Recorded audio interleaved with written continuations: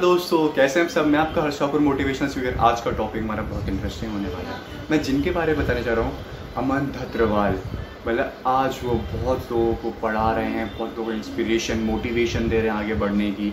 Is a को founder of अपनी कक्षा एंड अपना कॉलेज मैं उनकी पूरी स्टोरी बताऊँगा आपको। इनकी कुछ पढ़ाई गाँव में हुई है और ये कुछ पढ़ाई इन्होंने दिल्ली में करी है। तो दिल्ली में आके इन्होंने डिग्री लेने के बाद इन्होंने, इनकी फैमिली से ये था कि इनकी फैमिली से ये बोला गया था कि अगर आपको कुछ करना है तो आप इंजीनियरिंग करके जॉब करिए कुछ। तो इनका जॉब में बिल्कुल भी मन नहीं लगता था। तो इन्होंने क्या करा, सिर्फ़ अपनी फैमिली से ये बोला, मुझे दो साल दीजिए। दो साल के बाद अगर मुझे सक्सेस नहीं मिलती है तो मैं जॉब करने के लिए तैयार हूँ। तो दो साल इन्होंने रूम रेंट पे लिया। इन्होंने एडसेंस से बहुत अच्छी कमाई भी करने लग गए। मतलब वहाँ थोड़ा बहुत कमाने लग गए उससे। फिर इन्होंने आके अपना यूट्यूब का चैनल खोला।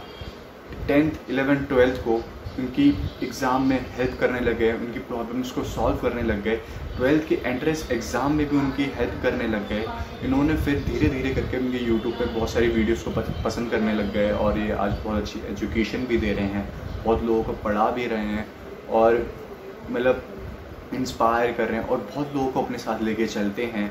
तो इनकी फैमिली से यही था कि आप जॉब करिए या सरकारी जॉब करिए, पर ये नहीं चाहते थे, ये कुछ बड़ा करना चाहते थे। तो इन्होंने कुछ बड़ा करके भी दिखाया। तो मैं आपकी, अपनी वीडियो से मैं आपको ये बताना चाह रहा हूँ कि अमन धत्रवाल कर सकते हो आप क्यों नहीं मेरे दोस्तों? तो ये वीडियो कैसे लगी आप मुझे बताइएगा।